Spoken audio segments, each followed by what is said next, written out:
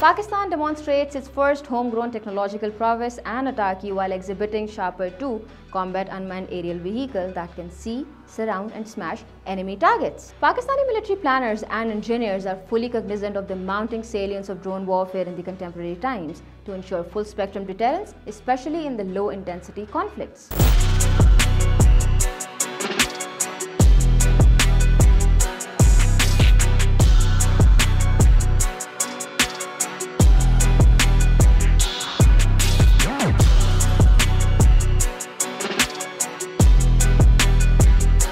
Shahpar 1 being the base model of the series is a medium-range long-endurance UAV for carrying up to 50 kg of payload for intelligence, surveillance and reconnaissance. Shahpar 2 being a descendant is an unmanned combat aerial vehicle with an improved data link of 300 kilometers to a combat range of 1050 kilometers. It carries two Barq missiles to engage static as well as kinetic targets.